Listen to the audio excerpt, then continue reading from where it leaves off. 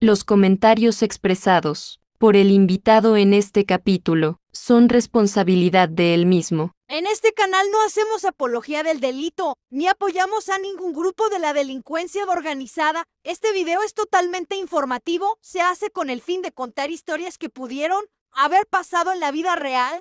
Dicen que esos blindados eh, fueron directamente a agredir al personal militar. Bien que el soldado este, siempre, cuando sale a operar o cuando anda en las camionetas, siempre van durmiendo, güey. Es la reacción a la emboscada, ¿no? Así eso, es. eso que, ese adiestramiento que tanto nos enseñan, que sargentos de fuerzas especiales cuando están de segundos comandantes en las fuerzas de reacción, Al momento de escuchar los disparos o ver la acción de las camionetas, ellos apenas empiezan a reaccionar. hubo una persona, un capo que utilizaba mucho lo que es las camionetas doble rodado blindadas. Entonces era para nomás darle el golpecito a la palanca y subía el tiro, pues cargaba. Y muchos cuando salíamos operaciones así utilizábamos el G3. Pero si vas nada más con tu chalequito, 250 tiros, sin armamento colectivo, realmente prácticamente... no eres, no eres, Estás es- vulnerable, en pocas palabras, nada más. no eres rival, güey, para dos vehículos blindados, viejo, con ametralladora. Eh, ¿Cómo está mi gente? Bienvenidos a otro nuevo video. El día de hoy, viejo, eh, vamos a tocar un tema que ya tiene, yo creo que ya tiene varios días. Al tiempo que salga este podcast ya tiene más de una semana que pasó ese suceso. Que va relacionado a la emboscada al personal militar en Teocaltiche, viejo, ahí en, en Jalisco. Eh, fíjate que no me, yo no había visto, güey. Fíjate que últimamente yo no soy muy amante de estar apegado tanto a las redes sociales o a las noticias. Eh, empecé a ver por ahí, creo que en TikTok, un video donde buscaban a personal militar. Entonces me llamó mucho la atención. Ya empecé a buscar información y entonces ya, pues ya me apareció todo lo que ya vimos, ¿no? Donde dos blindados emboscan a personal militar. Estoy investigando un poco y dicen que esos blindados eh, fueron directamente a agredir al personal militar. Personal militar que estaba cerca de un destacamento. Entonces ahí me percaté de dos, tres cosas, viejo. Que quisiera que el día de hoy toquemos un poquito de ese tema.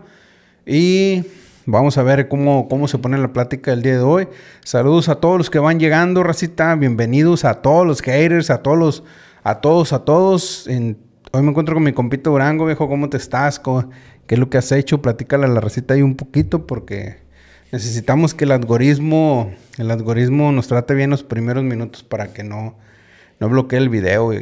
¿Qué tal mi gente? Pues aquí nuevamente haciendo otro video de podcast. Vamos a hablar del tema, este, un tema el día de hoy de una emboscada que sufrieron por ahí unos compañeros hace una semana aproximadamente. Por ahí estuvimos analizando y viendo los videos, le dimos vuelta a los videos. Estuvimos viendo la situación y vamos a platicar eh, qué es lo que pasó ahí y vamos a ver también el adiestramiento, eh, el que en ese momento el personal militar traía, que sí andaban pero no, digamos, al 100%. Entonces tú dices, si arrancamos de una vez y empezamos con este tema a platicar de esta emboscada. Pues mira, principalmente yo quiero mandarles el pésame a la familia porque yo creo que este video o algún reel, algún clip, le va a llegar a, a la familia del personal, de los compañeros caídos. Entonces, principalmente yo quiero pues darles el más sentido pésame, ¿no?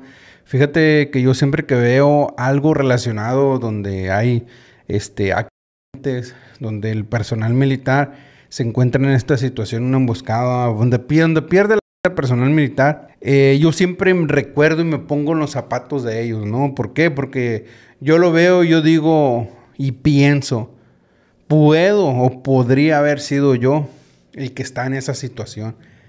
¿Por qué? Porque nosotros también fuimos este, operativos. Nosotros en algún momento también estuvimos realizando eh, pues, operaciones urbanas, eh, bases de operaciones, eh, retenes o como ahora se, se, se- se entiende que son puestos de control militar y cosillas así. Entonces, muchas veces yo siento, Durango, este, que nos gana la confianza. Que nos gana la Así confianza. Yo creo que eso es muy importante como personal militar operativo, deja tú el personal administrativo, ¿no? El personal administrativo su jale, ellos tienen su jale. Cocineros, zapateros, peluqueros, ellos tienen su jale, pero el personal operativo, eh, y esto lo digo por experiencia, llega el punto, llega el momento que, que nos ganan la confianza y siempre traemos en la, en la mente o el pensamiento de decir, es que no hay pedo, viejo. Así es. Es que haces, de la confianza. Así es. te confías mucho de que no va a pasar nada, pero siempre pasa porque siempre hay alguien que te está vigilando, te está viendo, está efectuando tus movimientos, está viendo qué es lo que vas a hacer, dónde estás, dónde vienes. Eh, inclusive eh, siempre está más, un poquito más preparado, más alerta que uno, porque si te has fijado que, mandan, que mandan por, este, por delante o la avanzada clásica, ¿no? Este, ¿sabes qué? Te vas a ir tú, vas a pasar en una motocicleta, en un carro, una camioneta, vas a verificar cómo vienen, cuántas camionetas traen, qué efectivo. Y dentro de este círculo tú sabes bien que hay gente que perteneció a las Fuerzas Armadas, que son el clásico desertor, que se unen a esas filas de esos grupos y saben bien cómo es el soldado.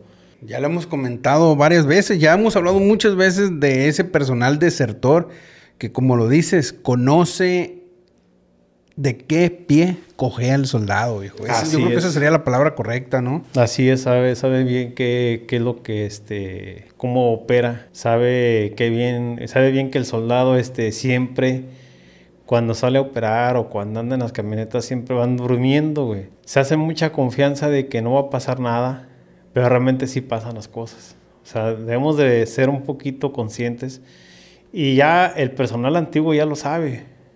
Pero, por ejemplo, el personal de reciente ingreso, a pesar de que recibe un adiestramiento, lo toman como un juego, como un hobby de que no pasa nada, no hay bronca, abandónate, duérmete, ¿sí? Y estaba analizando este video, y lo estaba viendo y realmente eh, les faltó hacer un anillo de seguridad. Eh, como lo estaba viendo, realmente las, las camionetas se pararon en la carretera prácticamente y les faltó el momento principal. Pero, ¿a qué te refieres con el hacer un anillo de seguridad? Eh, que hace cuenta que como el video yo lo vi, no hicieron las medidas de seguridad, o sea, un anillo de seguridad de decir, ¿sabes qué? Tú ponte este lado, tú de aquel lado, y fíjate quién viene, qué va, qué esto, qué el otro, y no lo hicieron. Simplemente fue un, los emboscaron fácilmente, güey. Porque se hicieron de la confianza como siempre. O sea, llegas y te paras tú. Y el clásico soldado a veces ni siquiera de la camioneta se bajan. El que se baja es el, que lleva el mando y si acaso el chofer. Y, los que ya se la saben. Y a los que ya saben, pero aquí estoy viendo, güey, que, que no se bajaron casi todos. Y entonces de repente llegan las camionetas, les empiezan a tirar y es cuando ya reaccionan. Pero malamente también las camionetas no traían momento colectivo que mencionamos, que es la matralladora, que es la lanzagranadas. Yo pienso que, ahí ya entra un poquito lo que es la reacción a la emboscada, ¿no? Así eso, es. Eso que, ese adiestramiento que tanto nos enseñan, que sargentos de fuerzas especiales cuando están de segundos comandantes en las fuerzas de reacción nos ladillan con ese adiestramiento de reacción a la emboscada, de cómo bajar del vehículo. Y muchas veces uno lo mira como la dice, no mames, igual está relax, ¿no? Acá está tirando barra. Eh, nos, tiene, nos trae el sargento al pedo, ¿por qué? Porque fue gafe, ¿no? De volada decimos, ah, es que el sargento fue gafe y, se cree superhéroe y se la quiere comer este ardiendo. Pues uno lo mira con esa, con esa visión, ¿sale? claro, aclarando, no todos, ¿verdad? No todos. Hay, hay, compañeros que, y en su caso, pues que cuando nos traían en ese adiestramiento que nos daban cuando estábamos de fuerzas de reacción, eh, pues uno trata de aprender. ¿Por qué? Porque ellos nos dicen lo que pasa es que uno nunca sabe cuándo van a pasar las cosas. Y fue lo que pasó en, este, en, este, en esta emboscada donde se ve que venían dos vehículos, porque el vehículo de atrás, el que iba de dos, es el que estaba grabando pues a la camioneta que iba de uno, ¿no? Y ahí se ve, como dices tú, se ve que el per... Bueno, yo desconozco si llevaban eh, colectivo, ¿verdad? Para aquellas personas que no sepan qué, sepan qué es colectivo, armamento colectivo es desde la mini eh, pues muchas veces utilizan el calibre 50, el Barrett, muchas veces utilizan lo que es el, el, el lanzagranadas, ¿cómo se llama la ametralladora, güey? La MK. La MK. Eh, anteriormente traían la, otra ametralladora, ese me fue el nombre, güey. La, HK. la HK esa. Y, así, varios, ese es el armamento colectivo, ¿no? Y se ve, se ve que en este, este personal no traía ni siquiera aditamento lanzagranadas en su FX o anteriormente, no sé si recuerdas que también utilizaban el MGL, que es la que trae como para seis granadas. Entonces, prácticamente te topas un blindado, viejo, ves tú la acción. Y para el compañero que perdió la vida, que iba de tirador, porque se ve que el que iba de tirador recibió pues todas las, o sea, las primeras ráfagas se ve que fue el que lo, el que lo recibió. Sí, fíjate que en el video se ve donde viene la camioneta blindada, pasa, tira, eh, se desaparece, viene la otra, que es el clásico monstruo, tira y de regreso Las dos, güey, las dos son blindadas. sí, las dos, son monstruos. Entonces, imagínate con qué te estás enfrentando. O sea, prácticamente ahí les faltó el elemento colectivo mínimo, unos granadazos y, este, no vas a perforar el blindaje, pero mínimo les vas a ocasionar daños, ya sea en una llanta o, algo, pues. Entonces te digo, eh, fue falta de confianza porque no pusieron el anillo de seguridad. Eh, se ve que se bajaron, pero eh, nos agarraron así, digamos, con la zona abajo, porque al momento de escuchar los disparos o ver la acción de las camionetas, ellos apenas empiezan a reaccionar y se ocultan. Y está bien que se oculten detrás de las camionetas que traen y estos elementos vuelven a regresar y les vuelven a tirar. Prácticamente esto ya estaba planeado o simplemente eh, en las carreteras hay ciertos puntos donde hay gente que pasa información y lo más seguro que ellos les pasaron la información y sabes que ahí viene el soldado, ya está en la carretera, sabes que este, en tal parte, en tal kilómetro, vamos y los emboscamos, ¿no? Porque realmente eh, si tú lo ves, el video se ve cuando viene la camioneta blanca de frente, pues tú ves una camioneta normal, ¿no? Pero ya cuando se dan cuenta y es cuando ya les empieza a tirar y llega la otra y les dan otra repasada. Pero yo siento que no se detuvieron con los disparos de la camioneta blanca, viejo. Yo siento que les tiraron antes para obligarlos a detenerse. Y el remate fue los vehículos blindados que llegaron a, o sea, con la confianza, pues, de que no traen armamento colectivo, pues llegan y les, les dan con todo. Eh, Fíjate que no sé, y no, no, no quiero entrar en, un sistema de criticar al mando, hijo, de, de murmurar mucho del mando, pero como que el ejército, la marina, güey, la, la, Guardia Nacional, la Guardia Nacional, se ha estado relajando en ese sentido. Si tú recuerdas con Calderón, viejo, todo vehículo trae un elemento colectivo, viejo. Así es. Todo vehículo traía su tirador con su MK o con su HK o con su Minimi. ¿Eh? Todo vehículo. Otra cosa, no es nada más subirse a la Minimi de, tirador. Varias veces lo hemos mencionado nosotros aquí de que el tirador, eh, hay muchos soldados que sienten que ir de tirador es ir en el forreo, es ir de forro ahí arriba. Y es el lugar más importante. Yo, con lo personal, desde que empecé a hacer videos, he comentado muchas veces que el tirador lleva una gran responsabilidad. Y como te digo, en, en las fotografías que estuvieron circulando en redes sociales, se ve que uno de los compañeros caídos iba de tirador. Por la posición en la que está, si me equivoco, gente, pues aquí déjenlo en los comentarios, ¿no? Pero en la posición en la que está se ve que él iba de tirador con tu FX, ves un vehículo que te está agrediendo.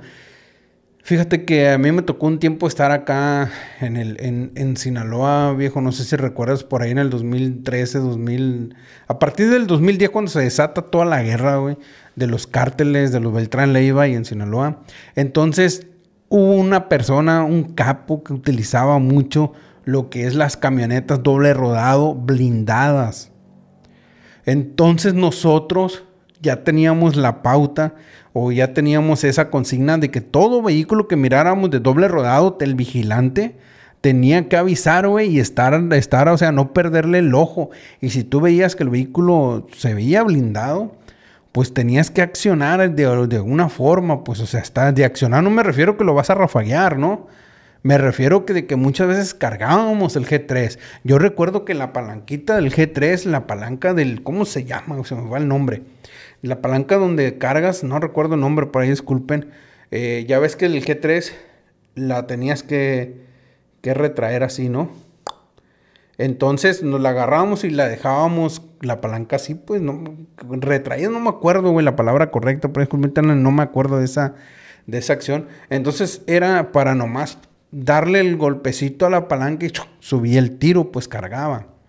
Y muchos cuando salíamos operaciones así utilizábamos el G3. ¿Por qué? Porque habían pasado emboscadas, o sea, habían pasado tantas cosas que lo que hacíamos es estar a las... Ver, ¿eh? estar truchas para cualquier tipo de cuestión de, estes, de estas emboscadas. Y yo lo que veo es de que el personal, pues no traía una mini eh, un lanzagranadas que yo creo que con unos granadazos los ahuyentas, viejo. Varios compañeros han incendiado blindadas gracias a la MK y gracias al MGL y gracias al lanzagranadas. Fíjate que te voy a decir una cosa, no es por criticar, pero este, ya cuando pasan ese tipo de sucesos que el personal es agredido, el mando eh, manda demasiados vehículos y demasiado personal en el apoyo. Está bien porque simplemente implementan la búsqueda de, de encontrar ya sea a estas personas o a los que estén involucrados, pero en ese momento debe ser el apoyo. No, es que no lo dudo que sí haya llegado el apoyo, pues o sea. Pero el apoyo ya llega después cuando ya, ya pasaron las cosas. Entonces ya está un poco más difícil dar con esas personas que agredieron al personal. Inclusive ellos mismos, güey, queman las camionetas que traen. Los, monstruos los queman, queman un monstruo dos y se van. Porque son vehículos con reporte de robo y los blindan y los usan y los emplean para eso. Pero cuando te comento, o sea, al momento de hacer un operativo, un patrullamiento, lo que sea, güey, un reconocimiento, lo que tú quieras, o, muchas veces la gente reporta actividades, ¿no? De estas. Eh, yo pienso, güey, que ahí el mando debe de, de accionar, ¿no? Sabes que dos camionetas no son suficientes, vamos a mandar siete. Y sabes que, este, si la, porque no todas las unidades operativas tienen el SandCan, el blindado. Hay unas que sí los tienen y... No, todas las unidades operativas ya cuentan o deben de contar con un Sancat, dos Sancat. Bueno, los batallones deben de contar con dos Sancat. Mínimo, güey, es, digamos, ¿sabes que Se van a mandar seis camionetas y un Sancat. Tú sabes que ese trae ametralladora, trae todo, el equipo necesario. Entonces ya tan fácil, güey, ya no va a ser este... Eh, esta gente no tan fácil va, va, a hacer este tipo de emboscadas, este tipo de, de actividades, güey y, va a estar más seguro el personal, ¿sí? Al momento de, que haya una acción de estas, una agresión, pues van a tener la manera de, este, de, defenderse y sin ningún problema. Porque sin embargo, imagínate, es como dicen por ahí, vas a, a, la guerra sin fusil, pues el que traes ya no es suficiente. Imagínate, cada elemento trae cinco cargadores, total son 100 cartuchos. No, son el FX de 30. Es de 30, porque el eje 3 era de 20. 20, el FX es de 30. 30, pone 150. 150 cartuchos. ¿Cuánto tiempo te los consumes? En segundos. Porque así como se te acaba un cartucho, vuelves a cargar. Con la desespera. Es que todo entra, eh, primero, en relación a lo que dices y, y va a lo que yo comentaba, de que ahorita nos ha ganado tanto la confianza de decir, no hay pedo, de que estamos en una situación de abrazos y, no balazos, entonces se pierde, se pierde esa condición que teníamos anteriormente de llevar este, la, la mini las armas que ya hemos mencionado, ¿no? Entonces, como dices, son 150 cartuchos. Creo que el personal que, perdió la vida en este, en este enfrentamiento, es personal que no tiene ni siquiera los tres años de servicio. Y no es por demeritar, porque todos iniciamos por ahí, viejo. Pero también siento que el personal de arma sí falta mucho adiestramiento. Y todo cae y todo va en base a lo que hemos hablado del adiestramiento, de que se ha relajado el adiestramiento, de que ya no le puedes decir nada al soldado. Ya al soldado ya no le puedes decir nada porque se enoja, porque te levanta un parte. Y, yo sé que las Fuerzas Armadas deben de cambiar. Yo sé que se debe de modificar el sistema. Eh, pero es muy importante, es muy, yo lo he mencionado muchas veces, es muy importante ese tipo de adiestramiento. ¿Por qué? Porque eso hace que tu mente se agilice, que tu cuerpo se agilice y en situaciones como estas te haga pensar bajo presión. ¿Por qué? Porque si no tienes el adiestramiento correcto o te dieron el adiestramiento pero te la pasaste en el casino, en estas situaciones que haces, así como dices tú, traigo mis 150 cartuchos y los 150 me los vaceo, los 150 me los acabo en corto. ¿Por qué? Porque me gana la desesperación de que viene un vehículo que nos está tirando y yo le estoy tire y tire y tire y nomás rebotan como bombones en los vidrios. Entonces, independientemente de eso, el FX es, es un, es un calibre más pequeño o más bajo que el G3. Tú sabes que el G3 donde pegaba, aunque fuera blindado, le pegabas dos, tres veces y reventaba, viejo. Pero el FX ya no. Fíjate que el G3 eh, es, es, aparte, es un armamento que es muy difícil que falle, ya sea mojándose, llenándose lo que tú quieras. Es muy difícil que se trabe. Y el FX ah, ha tenido ese tipo de problemas de que a veces se encasquillan o simplemente se mojan esto o lo otro y dejan de, no hacen el funcionamiento correcto, ¿no? Entonces imagínate en una situación así, pues prácticamente tienes que desarmarlo, destrabarlo y, y no da tiempo, o sea, simplemente eh, como dices tú, una desesperación, lo avientas o simplemente te agarras a tirar, a tirar, a tirar, te consume los cartuchos y quedas desprotegido. Sí, como dices tú, aquí hace falta eh, el punto más importante del adiestramiento, porque con adiestramiento tú vas a saber, vas a saber accionar en el momento, aunque te estén tirando, tú vas a buscar un punto débil, ¿no? De, ya sea del vehículo o de ese personal que te está agrediendo, vas a esperar el momento en, darles en donde debe de ser y vas a obtener un resultado. Pero como dices tú, les falta adiestramiento, entonces te agarras a tirar lo tonto. Y no, no tiene caso porque ya no traes este, dotaciones. Y también ahí, fíjate que ahí es un punto muy importante aclarándolo. Simplemente es una opinión nada más. No es que yo tenga la razón.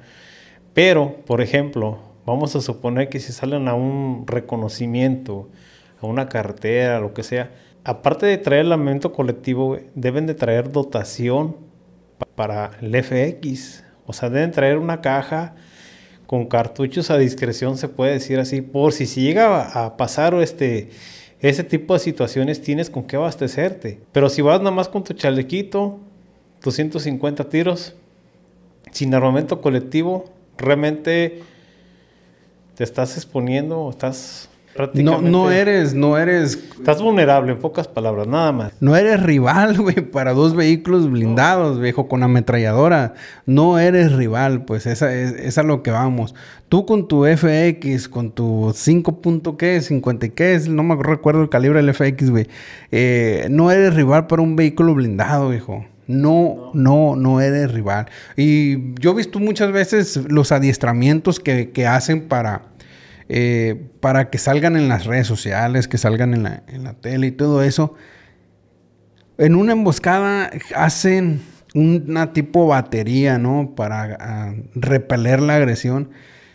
No, o sea, yo siento que nos hace falta el adiestramiento más real, viejo, más real. ¿Saben qué? O sea, una reacción a la emboscada más real, más real contra este tipo de, cuestiones que, se han estado presentando, que se estuvieron presentando hace tiempo, se estuvieron presentando hace, hace ya tiempo en el, en el sexenios atrás, donde el personal era emboscado, donde cada ratito había enfrentamientos, donde cada ratito el personal caía, eh, desgraciadamente el personal militar pues caía en los topones.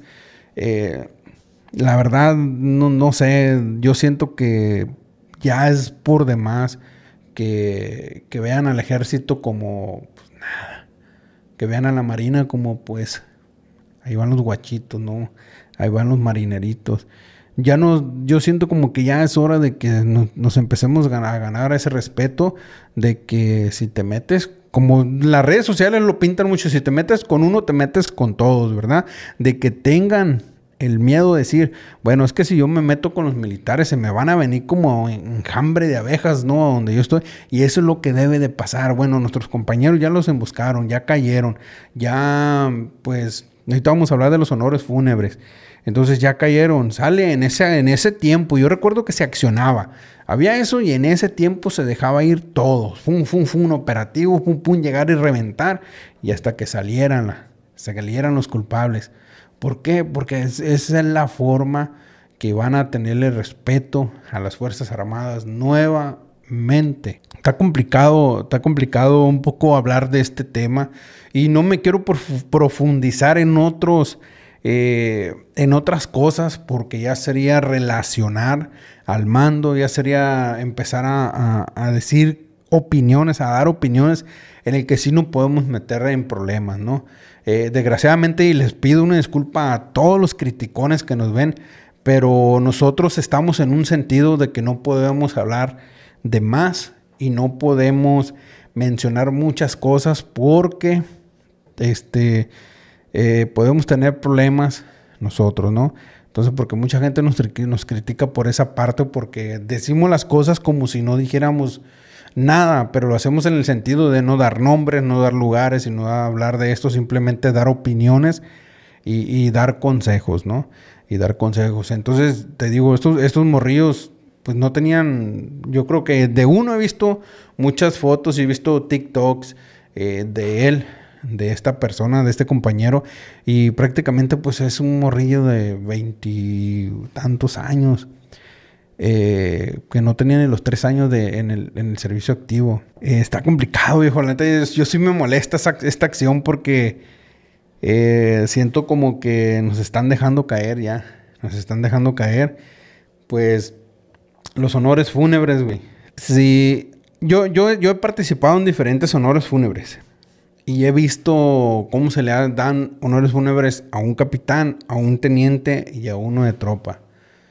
Eh, todo marca, si te vas contra el libro o si te vas con el libro, los honores fúnebres marca por jerarquías, ¿no? Pero miré los honores fúnebres, hay videos que subieron de este elemento donde va la banda de guerra, va la bandera de guerra, eh, van jefes y hacen una, una tipo ceremonia para darle los honores fúnebres, la verdad yo sí me siento así. Cada vez que escucho al corneta tocar silencio en honores fúnebres, se me enchina la piel, viejo.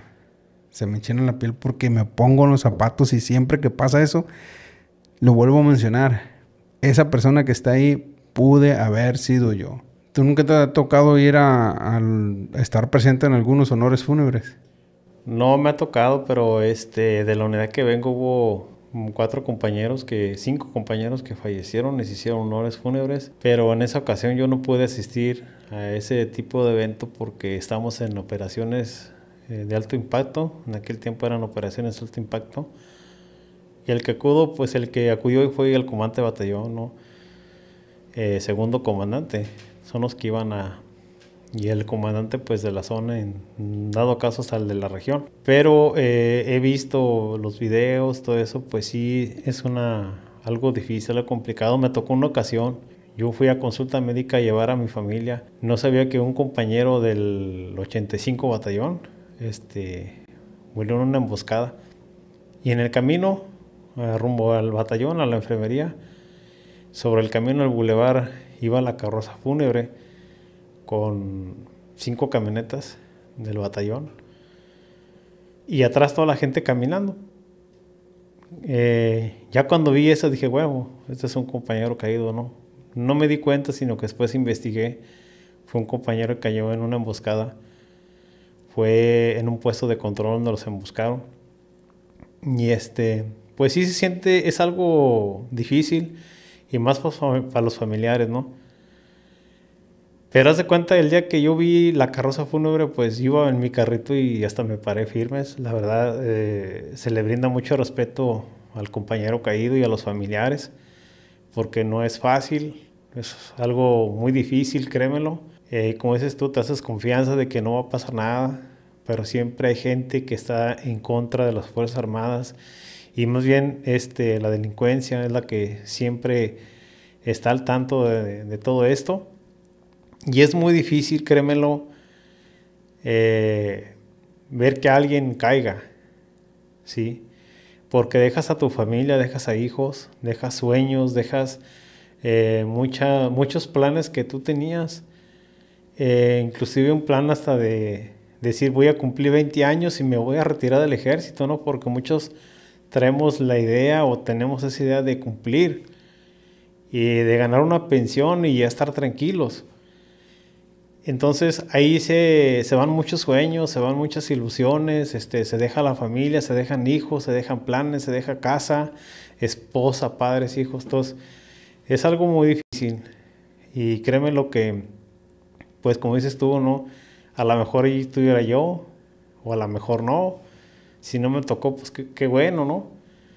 Pero sin embargo, pues estamos todavía dentro de las Fuerzas Armadas y estamos vulnerables no estamos exentos de que pasemos una situación. puede pasar algo, sí, porque tú sabes bien que dentro de una instalación siempre afuera hay gente que está informando. Sabes que salieron civiles, así, así, así, pero son militares. Y en dado caso, una agresión o un desquite que estas personas quieran hacer, pues de ahí te agarran, te levantan, te llevan, te torturan. Entonces, es algo complicado. Y por eso el mando ha implementado eh, ya ves que hicieron una adecuación el corte de pelo igual.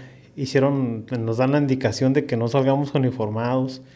Ya no es el ejército de antes que salías uniformado a la calle, al centro, sin ningún problema. Yo me acuerdo, te digo, yo me acuerdo de cuando yo este, usaba el uniforme de olivo. En aquel tiempo no había bronca. Si tú te ibas en, hasta en el camión uniformado, andabas en el centro uniformado y nadie te decía nada. Al contrario, te, te vean con mucho respeto a la gente y otros te vean con odio. Y es lo mismo ahorita en la actualidad, es lo mismo, no ha cambiado. Pero ahorita ya es muy difícil porque ahorita el ejército se metió a combatir, pues, digamos, la delincuencia. ¿Por qué? Por la corrupción de policías. Entonces la policía ya no era confiable para este tipo de trabajos. Por eso se implementó la Guardia Nacional, para que hiciera funciones de policía. Entonces mucha gente ve la Guardia Nacional eh, como si fuera una institución civil, pero no, la Guardia Nacional es policía militar en apoyo a la Guardia Nacional, porque en sí no se ha reclutado civiles. ¿O cuando has visto tú que entren civiles? No, son, es, ejército, pero vestido de, de Guardia Nacional únicamente. Es muy difícil tener una Guardia Nacional con civiles y es muy difícil también adiestrarlos. Entonces por eso el mando optó por formar batallones de policía militar y después convertirlos en, batallones de Guardia Nacional para combatir ese tipo de casos. Pero realmente el país es muy grande, hay muchos problemas, hay muchas complicaciones por todos lados, hay muchos enfrentamientos, hay bastantes compañeros caídos y muchas de las veces se debe por no tener las medidas de seguridad, por hacerse confianza de que no pasa nada. Como siempre, te has fijado en los convoys de camiones y camionetas, la marea del soldado malamansado va dormido, no va a la alerta. El único que va ahí medio alerta también que yo he visto, ese que va arriba en la seguridad. Y me ha tocado ver que ese elemento también se queda dormido, que ese elemento también no, no se pone al tanto de la situación que está a su alrededor. No sé si te ha tocado, pero a mí me tocó en una Cheyenne que el que iba ¿De tirador? El tirador iba dormido, o sea, iba, iba parado, pero... La he aplicado, le he aplicado. ha cabeceado. Y muchos usan los lentes para esconderse detrás del lente, ¿no? De que, ah, no, va despierto, ¿no? Pero realmente a veces van, van durmiendo, pues.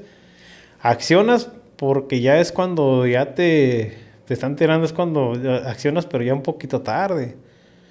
Ya van de ventaja. Entonces, yo digo que aquí estos elementos, volviendo al tema de, estos compañeros que fueron emboscados, como que se hicieron confianza. Yo pienso que también fue eso, fue...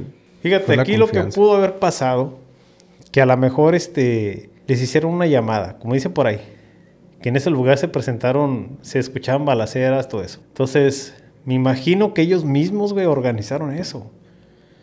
Los mismos de, de, de la delincuencia hicieron esto, hicieron la llamada. Eh, ¿Saben qué? Aquí hay gente armada, aquí vienen, tiran, hacen, deshacen. Y ellos acudieron con la confianza, de que vamos a ver qué pasa, vamos a ver qué hay. Y se encontraron con esto. O sea, prácticamente a veces las cosas son planeadas por ellos. No tanto por la gente civil que no tenga, que no tenga nada que ver aquí. Simplemente esto fue planeado por ellos mismos, porque así es. Supuestamente son extra, ¿cómo se llaman? Este, estrategias. Estrategias de ellos mismos para el personal agredir. O sea, vamos a suponer, ¿sabe qué? Aquí en este lugar se implementan reuniones, balaceras, este, se ve personal armado, ¿no? Civil. Eh, hablan, mandan videos, inclusive ellos mismos se graban, porque así pasa, ¿eh? No es que yo lo mienta, pero así pasa. Si tú quieres agredir a las Fuerzas Armadas, vas a planear todo desde un principio y te va a resultar. ¿Qué pasó aquí? Que ellos, yo para mi forma de ver, güey, fue planeado por parte de ellos. Personal militar acude a verificar, acude a ver, vamos a ver qué se encuentra y se encuentran con esto. Imagínate, tres camionetas blindadas monstruo, ¿qué les vas a hacer? Son camionetas pesadísimas que eh, ya teniendo vuelo, y si quieres golpear a otra, la golpeas con fuerza y dejas al personal sin transporte, sin, sin manera, digamos, de seguirlos o la manera de salir eh, por lo pronto de ese lugar. Desgraciadamente, pues fallecieron tres compañeros ahí y igual, como dices tú, le mando un saludo, un pésame a, la familia por si este video llega a, verlo, a los familiares, pues igualmente un pésame. Eh, es difícil, pero nunca hay que hacerse de confianza. El mando sabe que si reportan algo, una actividad de estas, pues ya debe de tomar las medidas de seguridad. ¿Sabes qué? manda cuatro camionetas. ¿Sabes qué? Mándate dos artilladas. Y ¿sabes qué? Dales una caja de cartuchos. Y no me mandes 15, manda una sección, 30. Y sabes que por delante un Sandcan. Y vámonos. Que se vea la fuerza, ¿no? Porque imagínate dos camionetitas sin, sin armamento colectivo, con puro FX. O sea, en cuestión de segundos, todo, todo el personal vacía todo. Le rebotaban los plomazos, güey, al, al blindado. Y, y, me trabé. Y nadie está exento, güey. Nadie está exento, sea servicio, seas armas, sea lo que seas dentro del, del, medio militar, no estás exento. Les voy a platicar una anécdota eh, que pasó hace mucho tiempo. No me pasó a mí, lo aclaro, ¿no? Dentro de los compañeros, una anécdota que se estuvo mencionando mucho en mi unidad. Hay una canción muy famosa de Remy Valenzuela, viejo, que se llama El Rescate. Por ahí búsquenla. Esa canción habla de, un enfrentamiento que hubo donde un jefecillo de plaza, que pues ahí se van a dar cuenta quién es, eh, le cayeron los soldados de madrugada, viejo. Mientras ese elemento pues estaba distraído, dormido, no sé qué es lo que está haciendo, pero es, era lo chilo, caer de madrugada, ¿no? Porque agarrabas, normalmente agarrabas a los malandros dormidos.